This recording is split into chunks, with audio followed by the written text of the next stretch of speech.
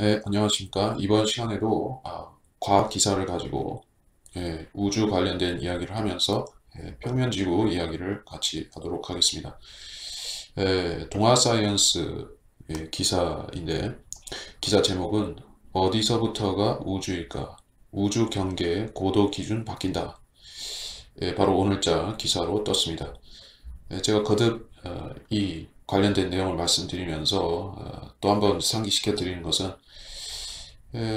요 몇 달 사이에부터 급작스럽게 어, 갑작스럽게 우주 또는 이제 어, 로켓 외계 이런 어, 관련된 기사들이 쏟아지다시피 하고 있습니다. 어, 거의 홍수처럼 쏟아지고 있는 형편인데요. 저는 사실 뭐 이것에 대해서 상당히 어, 뭔가 심각한 의미를 담아서 생각하고 있는데 예, 계속 지켜보고 있습니다. 그래서 예, 제가 미처 다 다루지 못할 정도로 많은 기사들이 쏟아지고 있습니다. 어, 우연의 일치인지 아니면 어떤 그 예, 비밀 결사들의 의도가 담긴 행동인지 이런 것은 좀 아, 지켜봐야 될 부분입니다.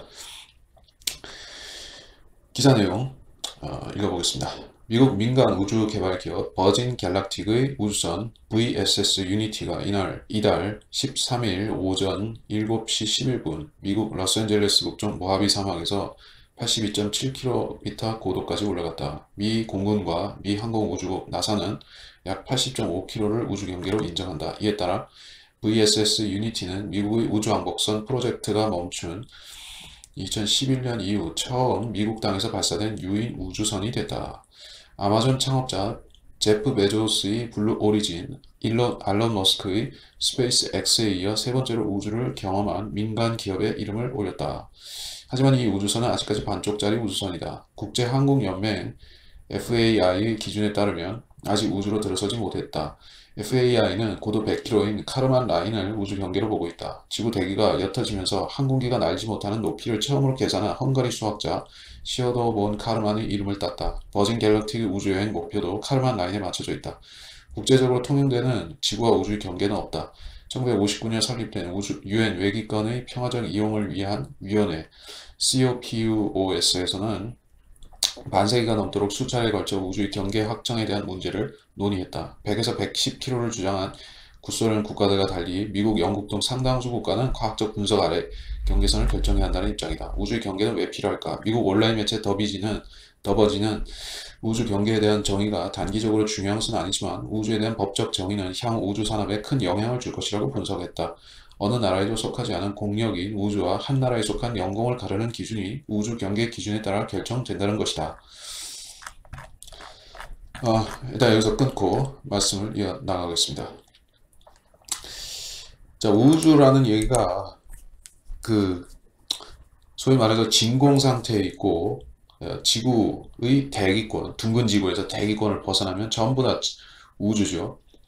그리고 지구에 가까운 것은 뭐 이제 인공위성들이 떠다니고 또는 ISS 예, 우주 스테이션이 있고 그더 멀리 나가면은 뭐, 뭐 우주 본격적으로 어떤 진공이고 어, 어떤 중력의 질서가 작용하지 않는 그런 소위 말해 무중력의 공간으로 들어간다.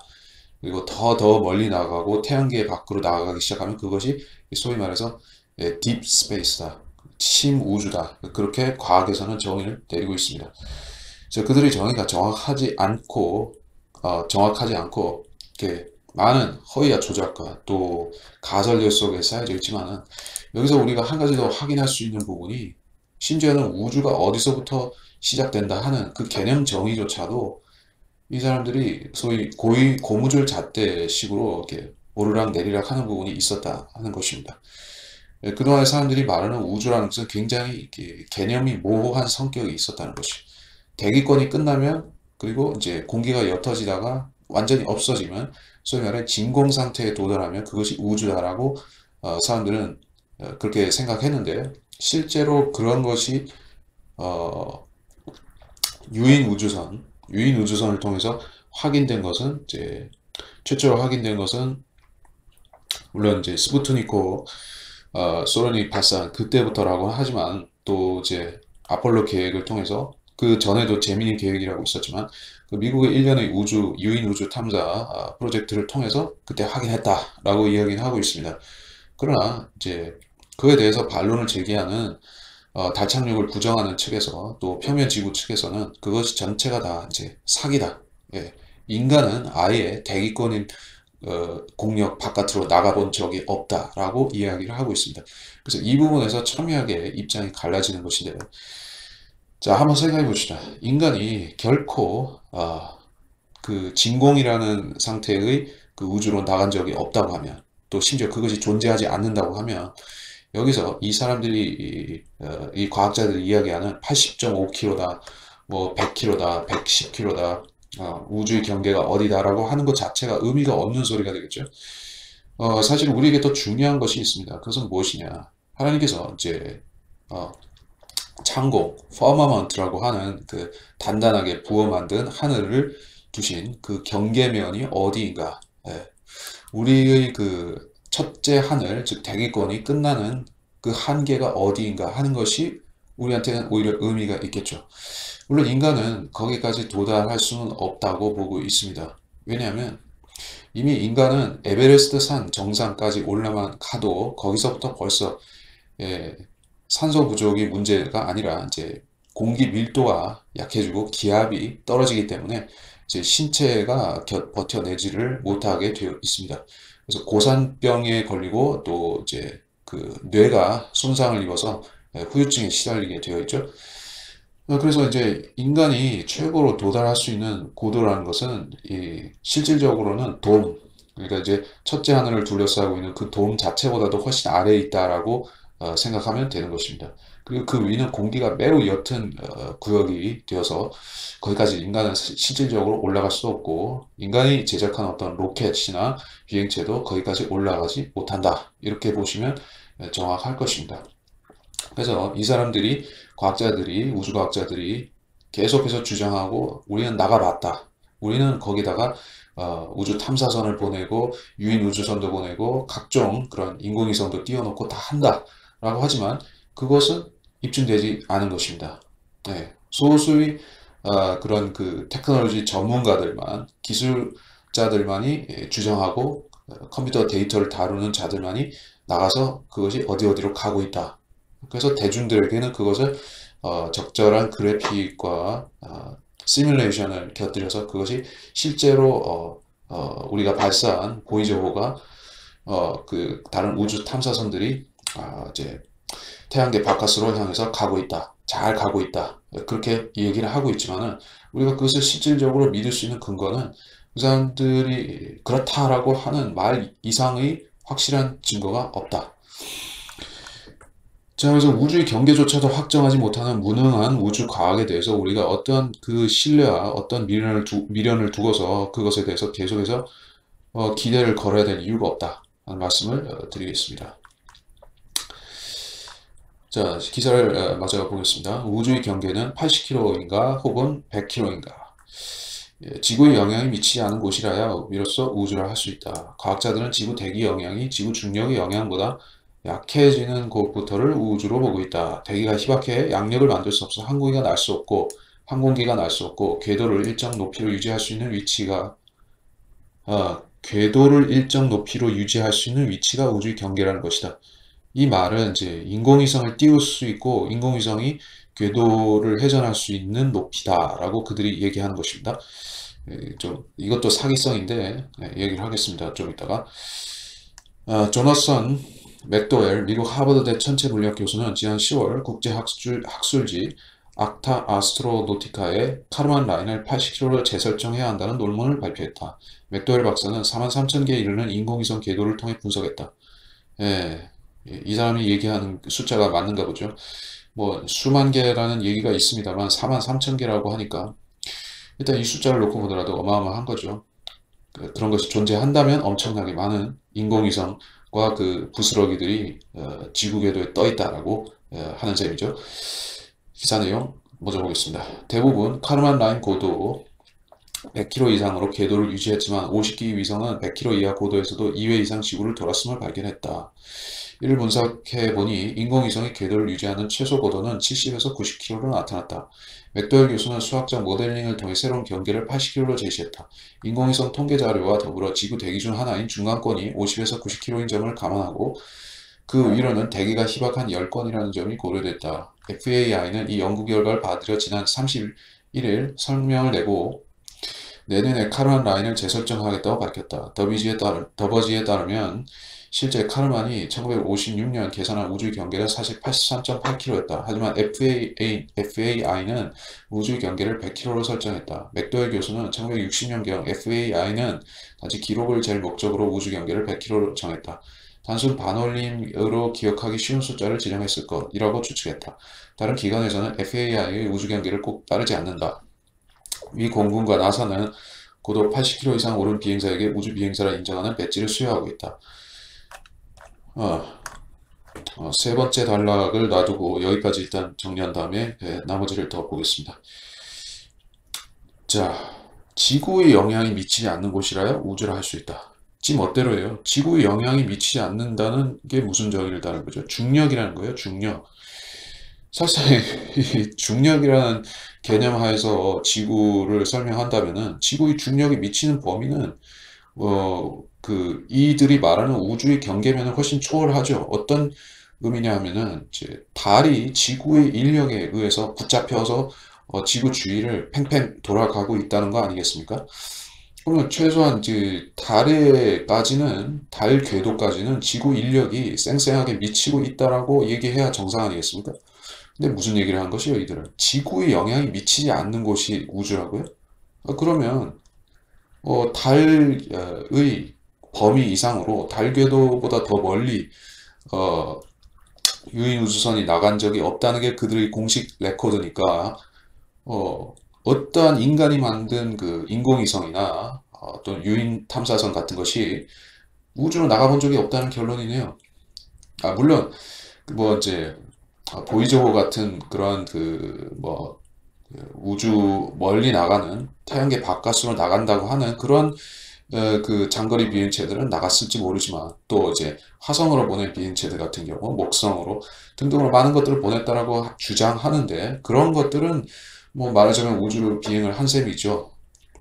하지만 인간이 만든 대부분의 인공위성들과 아, ISS와 소유주호, 소유주호와 이런 것들은 전부 뭐 지구의 영향권이 미치는 범위 안에서 팽팽 돌아간다는 거 아니겠습니까? 그러면 우주로 나간 게 아니죠. 예, 이제 이 기사가 기자가 실수를 했다라고 굳이 생각하지는 않습니다. 과학자들이 예, 서로 혼동하고 있는 것이에요. 대체 이 중력이라는 말 자체를 어, 누가 정확하게 정의를 내릴 수 있으며 누가 정확하게 설명을 하겠습니까? 예, 아무도 어떤 그 개념 정의를 확실하게 내릴 수가 없습니다.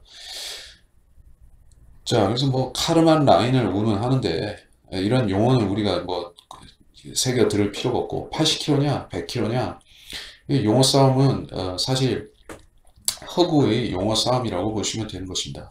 인간은 100km까지 올라가 본 적이 없습니다. 또 인간은 80km까지도 올라가 본 적이 사실 실질적으로 저는 없다고 보는 것입니다.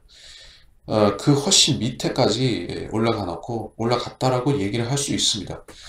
그리고 어, 이 태양이 또 이제 그 달이 어느 어, 고도의 평면 지구상에서 떠 있는가 하는 부분에 있어서는 뭐 주장하는 어, 측에서마다 이야기가 틀리지만 저는 그 이 나사에서 얘기하는 그 미 항공 우주국과 미 공군에서 얘기하는 이 80km라든지 또는 이제 뭡니까?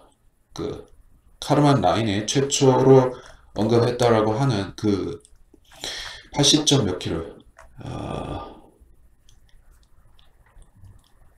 83.8kg죠.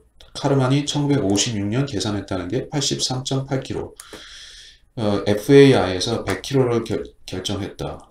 그리고 미 공군과 나사에서는 어, 뭐 결론적으로는 80kg를 잡았다라고 얘기를 하고 있는데 아마 이 어, 실측치 이것이 실측치라고 보는 편입니다. 왜냐하면 이와 관련된 그, 그 하늘의 도무의 높이를 측정하는 확인하는 실험이 예, 진행이 되었었기 때문에 1962년과 1963년 사이에 그 미국에서는 이제 Operation Dominic이라는 이름하에서 이제 고공에서 핵폭탄을 미사일 발사를 해서 폭파시키는 그러한 일련의 실험들이 진행이 됐습니다. 어, 최소 30여 발의 어, 강력한 핵미사일을 그 고도 이 고도 정도로 80km 이상의 고도로 쏴서 거기서 터뜨린 것이요. 그와 관련된 영상들이 예, 비디오 자료로 남아있는 부분도 있습니다. 그래서 그때 당시에 그, 어, 미 공군에서는 인간이 올라갈 수 있는 한계를 시험해 본 것이다. 저는 그렇게 인식을 합니다. 그래서 그때 당시에 예, 그 벤 앨런대라는 개념이 같이 도입이 됐었죠. 벤 앨런 박사라는 사람에 의해서 그 사람도 어, 이 실험과 이 남극 탐험에 관련이 된 사람입니다. 예, 그래서 그때 당시에 그 모든 과학적인 데이터들이 어, 다 나온 것이에요.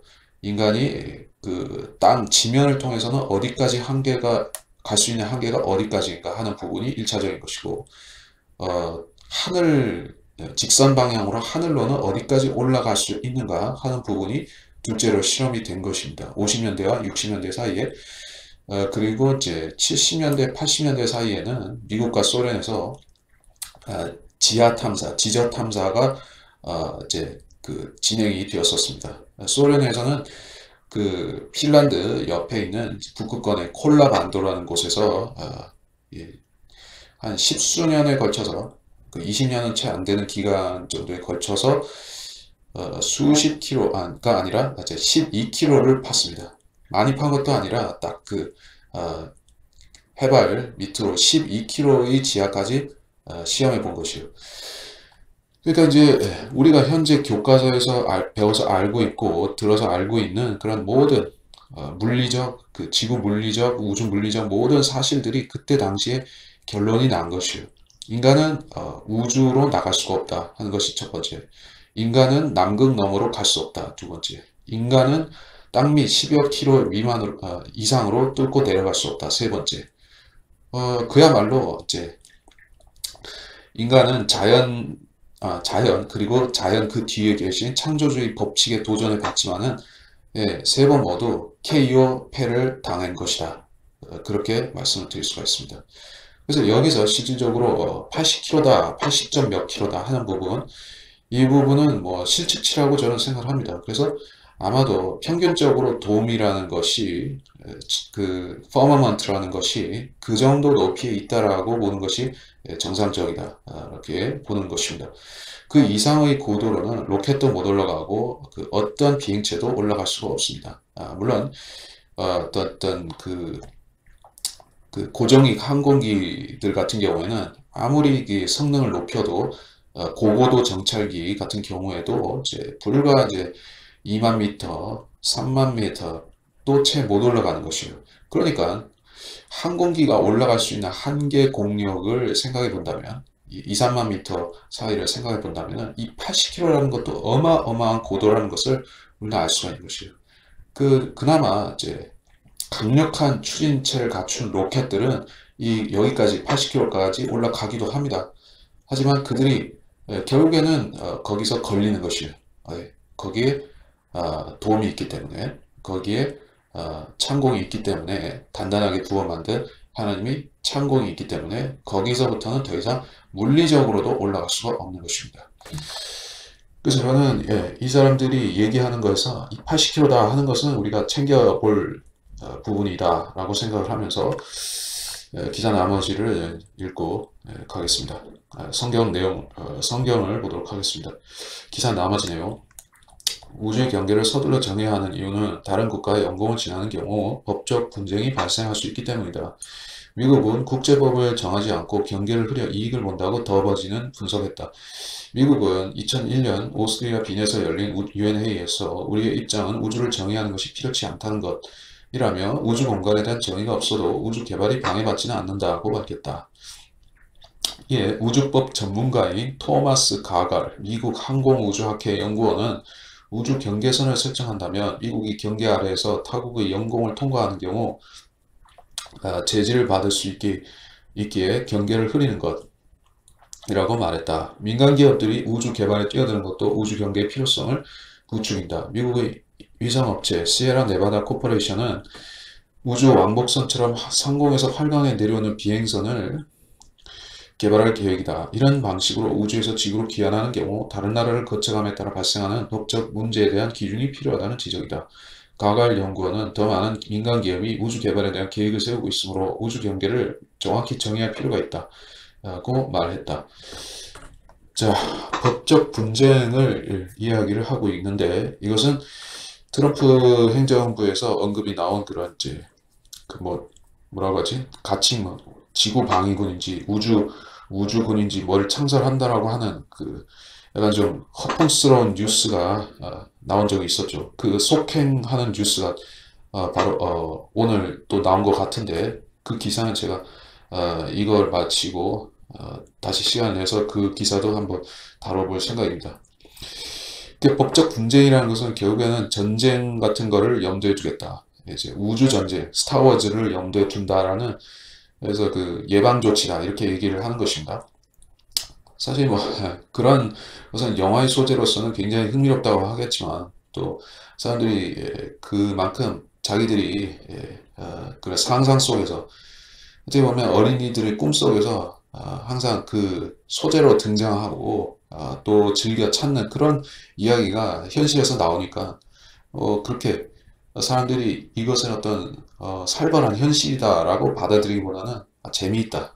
아 정말 어, SF 만화나 소설이나 영화가 현실이 되는구나 하고 오히려 기대에 찬 어, 생각을 갖게 될 것 같습니다. 하지만 이것은 어, 설령 그것이 진실이라 할지라도 전혀 우리한테는 그, 그 어떤 우주 개발의 이권을 가진 그러한 일루미나티나 프리메이슨들 당사자들은 모르겠지만 우리들 일반 사람들한테는 전혀 도움이 되는 이야기가 아니죠. 왜냐하면 이 사람들이 결국에 갖고 있는 계획은 뭡니까? 아, 지구에 대한 사람들의 인식을 완전히 에, 뭐라 해야 될까 부정적으로 에, 바꿔놓고 에, 이제 다음 문명은 외계에 세워야 된다든지 외계로 개, 외계를 개척해서 화성이나 다른 행성을 개척해서 거기에 인류를 심어야 된다. 그래서 결국에는 외계인으로까지 연장선상으로 가는 개념이 바로 어, 이 사람들의 그 블루민 프로젝트라고 하는 외계의 미혹의 실체인 것입니다. 이게 단순한 것이 아니고 점점 사람들에게 아 현실이 돼가는구나 우주라는 것이 어, 그 과거에 봤을 때는 어, 극히 소수의 몇몇 훈련된 전문가들만 왔다 갔다 하는 공간으로 인식하고 그래서 선망의 대상으로 바라보다시피 그렇게 했었죠. 어, 그렇죠. 이 우주 비행사라는 것이 얼마나 선망의 대상이고 그렇습니까? 존경을 심지어 존경을 받는 것이에요. 그 우리나라에서도 한국 최초의 여성 우주인 또한 어, 최초의 우주인이기도 한 이소연 씨가 어, 받았던 그러한 온갖 선망과 격려와 찬사 같은 것을 어, 돌이켜보면 그렇습니다. 뭐 지금에서야 아주 질이 멸렬하게 용두삼위격으로 뭐 어, 이상한 모습이 되었지만은 그 이제 도망치듯 그 미국에 가서 살고 있는 것 같지만은 처음에는 얼마나 사람들이 열광하고 좋아했습니까? 우주 비행사라는 게 그렇게 어마어마한 직종인 것이에요. 그래서 과거에는 그렇게 엘리트들만이 정부와 어, 어, 이제 그 특수한 그, 그 이제 그 나사라는 기관의 지원 후, 지원 후원을 받는 상 받는 입장에서 갈 수가 있었지만은 이제는 뭐라 합니까? 민간 우주 탐사 어떤 그런 기업 형태로서 이제 앨런 머스크가 그것에 이제 첫 발을 띄었고 다른 기업들이 하나둘 뛰어들어서 이 우주 개발, 우주 관광, 우주 자원 어, 개척, 개발 이런 것들을 뭐 현실화 시키겠다 이렇게 얘기를 하고 있습니다.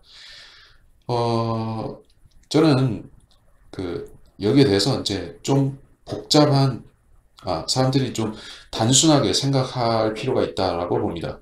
단순하게 생각한다는 것은 과연 지구의 모든 어, 생태계와 자원과 그 인적, 물적 모든 리소스가 아, 이제는 더 이상 뭐 써먹을 것이 없기에 인간은 과연 우주로 눈길을 돌려서 거기서 자원을 뽑아먹고 거기다 뭐 농사를 짓고 뭐 이제 도시와 식민지를 건설하고 그렇게 살아야지 될 만큼 우리가 지금 열악한 상황에 처해 있단 말이냐 라는 질문을 먼저 제기할 필요가 있다고 봅니다.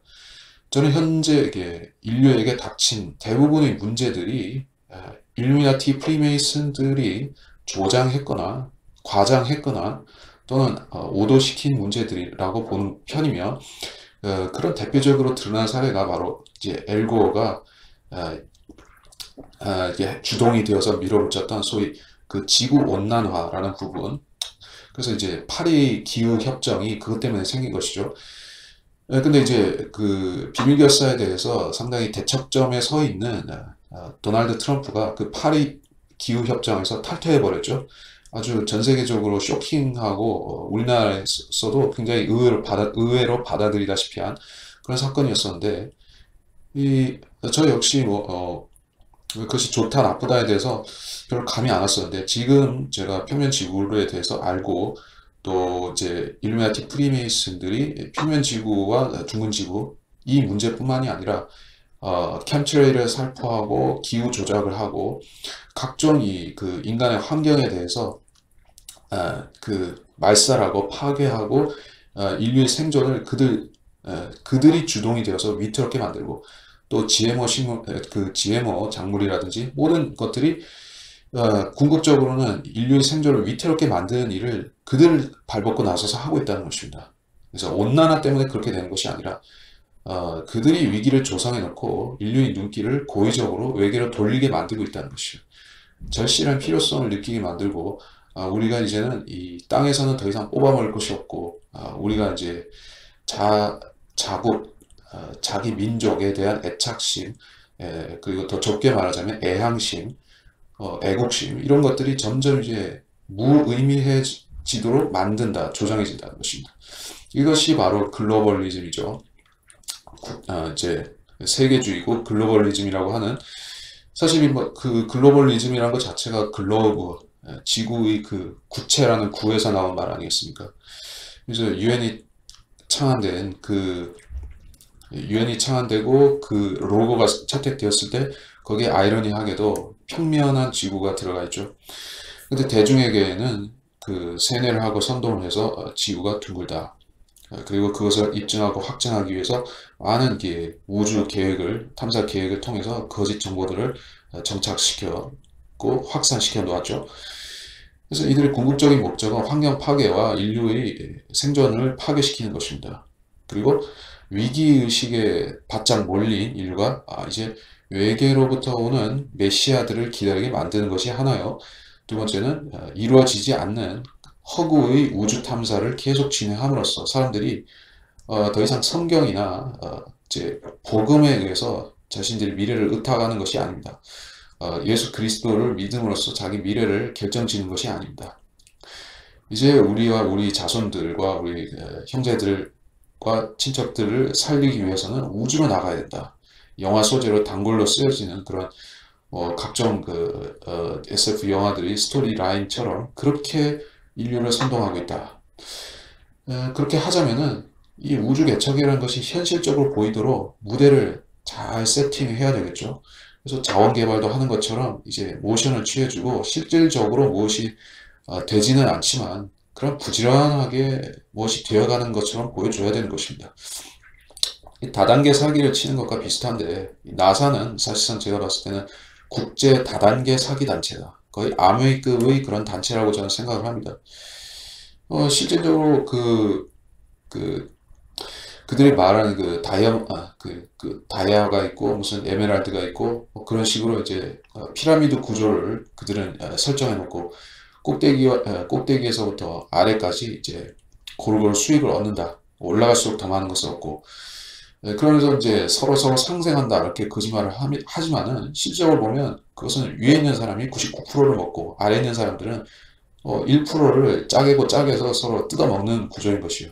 그리고 이제 신입을 계속해서 피라미드 구조 밑에 벌충함으로써 그 약탈 생태계가 계속 유지되게끔 하는 것입니다. 이것이 바로 이제 프리메이슨이 만든 전형적인 조직인데 그것이 바로 다단계의 피라미드라는 것입니다. 그것이 이제 인류 전체에 적용이 되는 것이 바로 이제 이 거짓 우주 탐사라는 것입니다. 여기에 들어가는 천문학적인 비용들, 어, 민간 기업을 포함해서 이렇게 나사가 또 한국과 러시아와 중국과 유럽의 각 우주국들이 쏟아붓는 어마어마한 예산들을 생각해 볼 때, 자, 그것들이 실질적으로 우주 탐사에 쓰여지는 것이 아니라면 어디로 들어갈 수 있겠습니까?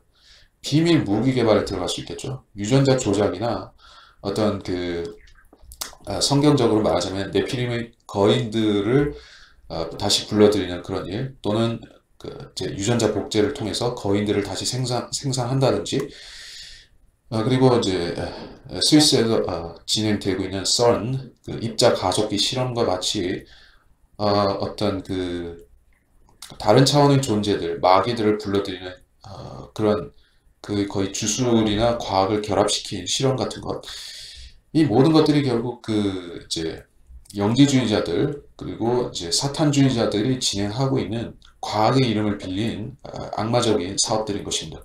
그런 것들에 대해서 어 우리가 의식을 못하고 있지만은 실제로 이들은 우주로 사람들이 눈길을 돌려놓고 어, 떤 이제 화려한 것을 보여준 다음에 실질적으로는 군비를 증강하고 어, 비밀, 비밀 무기를 개발하고 인류를 학살할 수 있는 효, 효율적으로 학살하고 줄일 수 있는 방법을 도모하고 있고 또 그러면서 자기들 자신은 안전한 쉘터를 만들어서 보호처를 만들어서 어, 자기들은 어떻게 일신을 보호할까 자기들 일족을 지킬까 하는 그런 부분에 투자를 하고 어 이제 미국 같은 데는 뭐 일반 사람들도 이제 그 음모론에 대해서 많은 인식이 있어서 어 이제 정부를 믿지 않기 때문에 둠스데이 벙커 즉, 그 어떤 종말의 날이 왔을 때 자신을 지킬 수 있는 그런 은신처들을 구축을 하고 식량을 보관하고 그런 일들을 많이 하는 것입니다.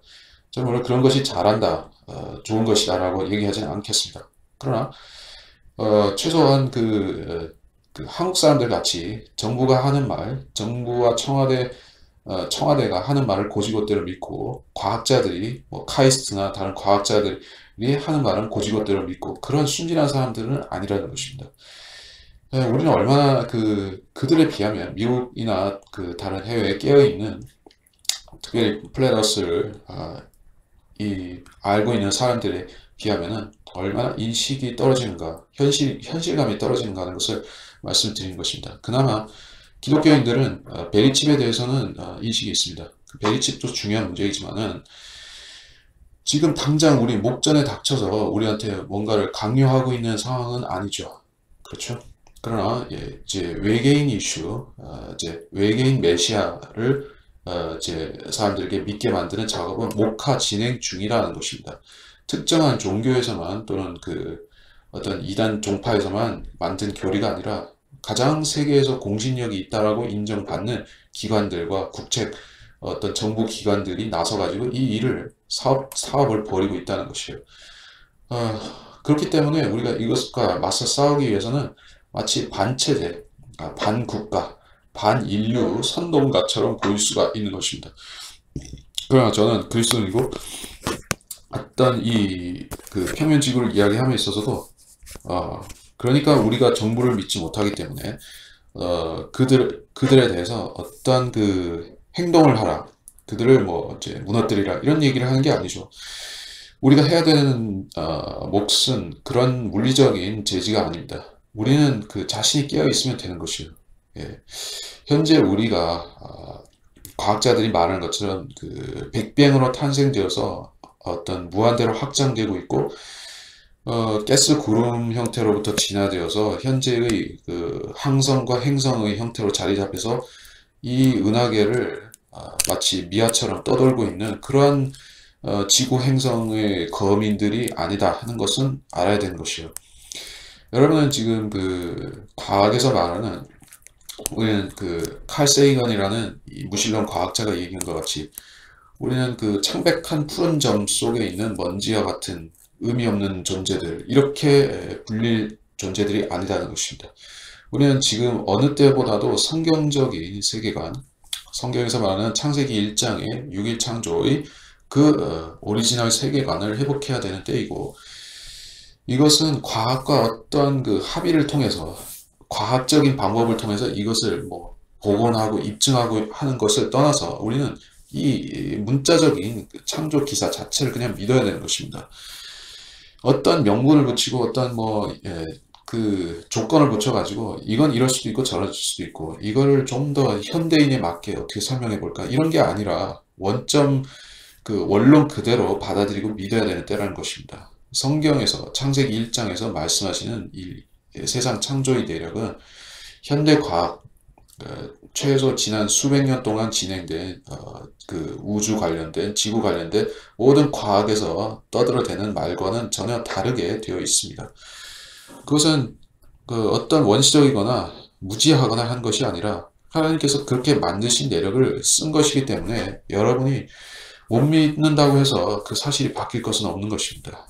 지구가 어, 어떤 축구공이나 농구공처럼 생겨가지고 그 안에 지각, crust가 있고 그 안에 맨틀이 있고 그 밑에 코어가 있고 어, 그 어, 녹아있는 코어가 어, 내핵이라는 것이 있고 그럼 그런 그 뭐 형태로 생겼다는 것 자체도 어, 아까 말씀드렸다시피 12km까지밖에는 인간이 들어간 적이 없기 때문에 아 인간이 들어간 것도 아니고 그 어떤 굴착기를 넣어서 뚫어본 것도 거기까지라는 것입니다. 그리고 심해로 들어간 것도 그, 그보다는 더 많이 에, 들어갔다라고 하지만은 실질적으로 그 땅의 깊이가 무엇인지도 얼마만큼인지도 인간은 어, 모르는 상태에 있다는 것입니다.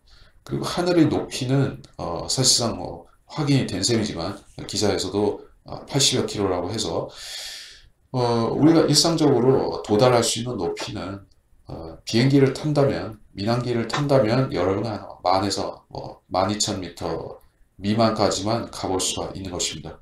80km에 비한다면은 그 밑바닥에서 돌아다니는 것이요. 그나마 이제 비행기를 많이 타는 사람들도 이제 신체에 어떤 이상을 호소하고 뭐 암에나 백혈병에 걸린다거나 할 정도죠.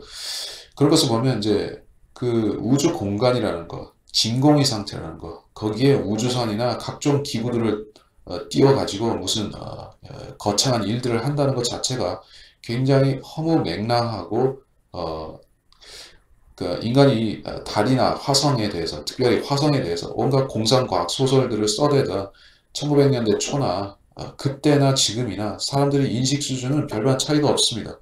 이제는 어, 컴퓨터가 발달하고 포토샵이 발달하고 또 이제 전문적으로 그런 것들을 위조해주는 어, 그런 그 배우들이 등장해서 우주인들이 등장해서 그, 그 마치 그들이 살아있는 증인처럼 행세하니까 이제는 사람들이 실제로 갔다 왔다고 하고 또 갔다 온 사람들이 어, 우리는 우주에 갔다고 하니까 그냥 믿어주는 형편이 된 것입니다.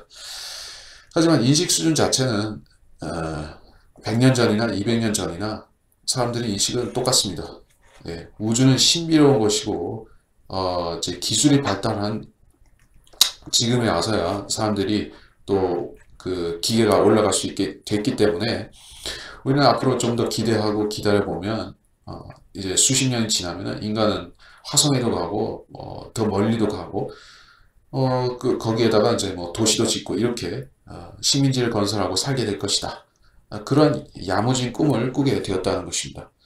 사람들은 그 그런 이제 막연한 낙관주의를 갖고 있는 것이 이제 그 참 그들 이제 연약한 어, 얄팍한 생각인 것입니다. 대중은 그렇게 기대합니다. 하지만 그 대중의 기대를 충족시켜 주기에는 아, 인간의 그 능력, 그 고작해야 100km도 넘지 않을 그러한 하늘의 돔에 돔에도 미처 도달하기 힘든 그 인간의 미약함, 아, 그 어떻게 보면 그 이 인간이 이 지상에서 가장 잘 할 수 있는 것은 어, 가장 잘 할 수 있는 것은 이 땅에 도시를 짓는다거나 어, 이 땅에 어떤 그 고대인들이 피라미드를 짓고 오벨리스크를 쌓고 뭐 어떤 7대 불가사의 이런 것들을 만들고 그런 것들이 지금의 우주의 로켓을 쏘는 그 기준으로 보면은 굉장히 미개해 보이죠. 그들이 무슨 보람 있는 일을 했겠는가라고 생각하지만은 최소한 그때 당시의 사람들은 어, 세계관은 정확하게 갖고 있었다는 것입니다. 하늘로 올라가 봤자 어, 거기다가 뭐 구조물을 올려다 어, 쌓건 즉 바벨탑처럼 올려다 쌓건 또는 뭐 비행 접시 같은 거를 즉 타락한 천사들의 기술을 빌려서 무슨 탈 것을 만들어서 올라가건 어찌됐건 인간은 여기 이 지구라는 공간 안에 딱 갇혀 있다는 사실을 그들은 알았을 것입니다. 그래서 그들은 자기들이 할 수 있는 제일 최선의 현실적인 일을 했습니다. 자기들을 어, 에게 그 향상된 지식을 전해주는 존재들, 즉 타락한 천사들을 숭배하는 어, 그러한 그 다신교를 만들고 어, 그 어떤 구조물 어, 그런 신전들을 만들고 그런 일을 했었죠. 물론 지금의 우주 어, 로켓을 쏘는 그 행위 자체도 바베탑을 쌓고 피라미드를 쌓는 것 이상으로 의미가 없는 행동이기도 합니다. 자, 기사 내용은 그래서 더 이상 보, 아, 볼 것이 없고 다 봤고 예, 제가 이제 신명기 4장에서 하나 인용해서 그 구절을 인용해서 보고 어, 이번 시간에 예, 설명하는 것도 마치겠습니다.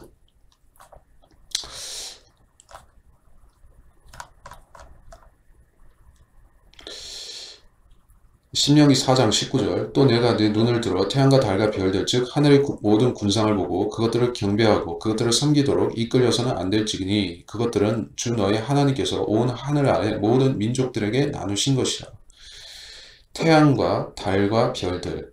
자 이 셋이 구별이 되고 또 제 세트로서 어, 세 세트를 구성하고 있습니다. 무슨 얘기냐?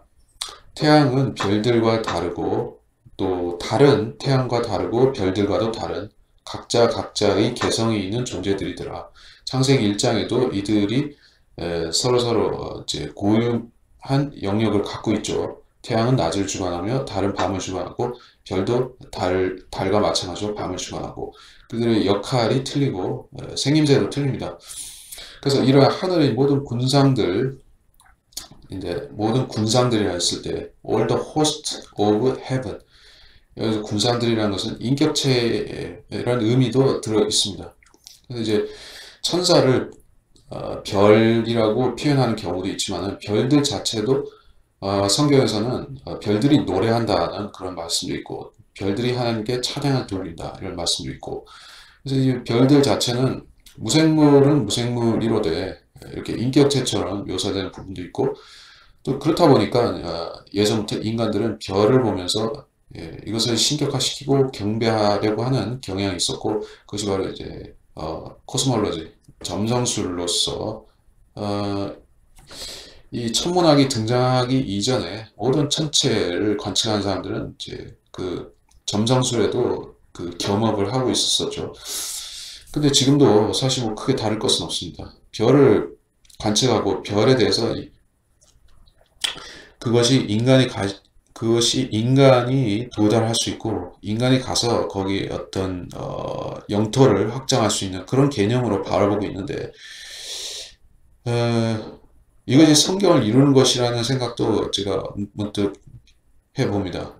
그러니까 과거에는 별들을 섬겨왔었는데 이제는 그 별들을 아, 그 별들로 진출해서 거기에서 어, 또 다른 어, 자기들이 조상을 찾으려고 한다든지 외계인을 찾아서 뭐 거기서 어, 이제 스타워즈처럼 인간도 어, 그 외계 어떤 그 주인이 되고자 하는 그 외계 문명에 참여하고자 하는 그런 생각을 어, 물론 현실로는 불가능한 일이지만 그것을 생각하고 에, 결국엔 인류에게 이런 일을 밀어붙이고 있다 하는 것입니다.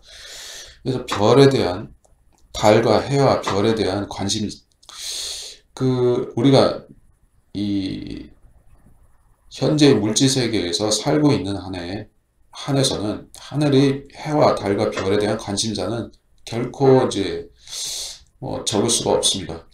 네, 관심이 없다. 나는 이제 해와 달의 이치에 대해서 별에 대해서 나는 관심이 없다고 하면 거짓말이겠지만은 여기에 대해서 어, 어떤 그, 그 정복 욕구 네, 그것을 차지하겠다, 정복하겠다는 욕구로 연결됨으로써 지난 세기부터 지금에 이르기까지 이 잘못된 우주 개발이라는 신화가 써진 것이 아닌가 하는 것입니다. 그러니까 이제 그 이것이 인류를 어, 하나로 만드는 데 있어서 그러니까 그들이 어, 민족들이 모두가 각기 섬겨왔던 별들이 있고 어, 떤 민족은 해의 신을 섬기고 달의 신을 섬기고 어떤 별들을 섬기고 하는 형태였었는데 그것들을 어, 이제 자기들이 정확하게 실체를 밝혔다. 심지어 거기다 어, 어, 미국 국기를 달에다 꽂았다. 화성에다가 어, 어, 우주선을 보내고 로, 로봇을 어, 거기다 보냈다. 이렇게 얘기를 하면 그 기존의 모든 어, 하늘의 군상들을 섬기던 사람들의 생각이 어, 디로 쏠리겠습니까? 그것을 정복해버린, 그것을 정복하고 어, 그것을 식민화시킨 그 어, 국가, 어, 궁극적으로 말하자면 어, 프리메이슨 일루미나티 그들이 이것을 주도하고 있으니까 그들에게 모든 신앙심이 그들에게 돌려지는 것입니다. 그래서 어, 기, 세상 모든 종교들을 통합하고 이제 단일화시키는 작업에 있어서 우주 개발은 어떻게 보면 어떤 필수 요소가 아닌가 이런 생각이 드는 것입니다. 그래서 바티칸에서도 로마 교황청에서도 우주 개발과 이제 외계인 어, 그 가설에 대해서 굉장히 관심이 많죠. 그래서 바티칸 천문대에서도 어, 외계 문명은 존재한다라는 그런 이야기를 했었고 지금의 교황도 그런 얘기를 종종 하는 것 같습니다. 그리고 그들은 심지어 이제 외계인이 존재한다면 그들도 어, 우리와 같은 신앙을 가질 수 있다. 이런 구원도 받고 이런 얘기까지도 하는 형편에 이르렀다는 것입니다.